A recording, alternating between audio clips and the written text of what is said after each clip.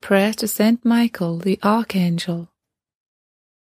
Saint Michael the Archangel, defend us in the day of battle. Be our safeguard against the wickedness and snares of the devil. May God rebuke him, we humbly pray.